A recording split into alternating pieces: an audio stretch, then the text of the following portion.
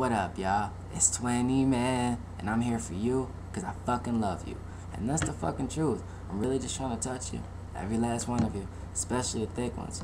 You know what I'm saying? You been knew what it was.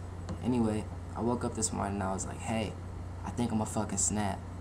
I mean, I feel that shit coming heavy. It might be on a fucking way.